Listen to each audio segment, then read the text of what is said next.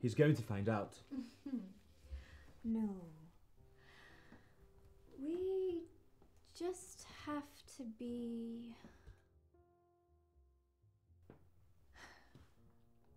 clever.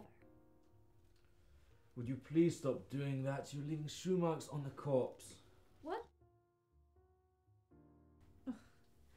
Pardon me for breathing.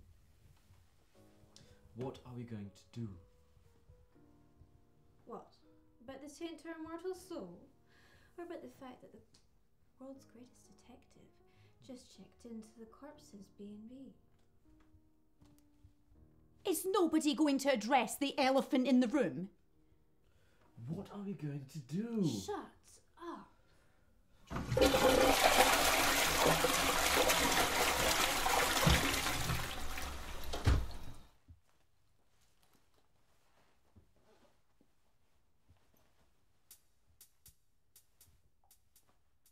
Am I interrupting something?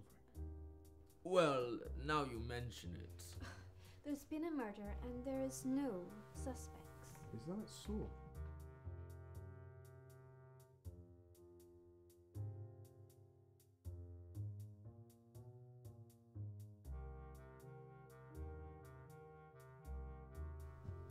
Is it true you never miss your mark?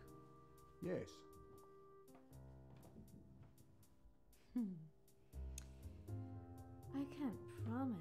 to come quietly.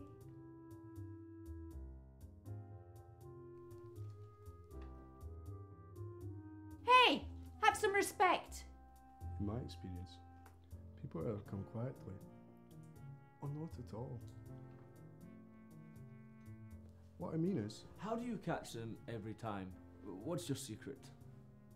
I ask three questions. Three questions. That's all it takes.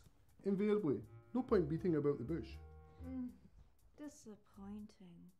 I could just tell you if you just. Question one What do you know about this? Nothing. We found a body. We were watching TV and we looked down and. Oh. Oh, indeed. Liar! Liar, liar, pants on fire! Question two What do you know about this? Oh, uh, same thing. TV. Look down. Oh. That's not true. Will you stop interrupting? You can see me. Obviously, this interrogation is really confusing. I'm easily overstimulated and I'm I'm not good at multitasking. So that explains your experiences, but.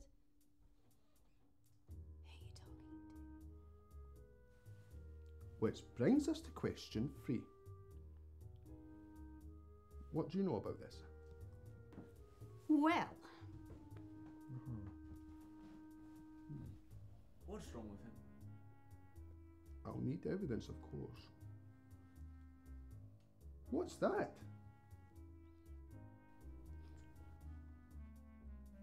It appears you've been caught red handed. Thanks for the tip. I don't know why I never spot these things.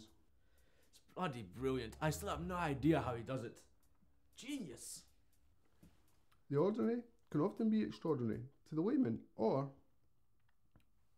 or something.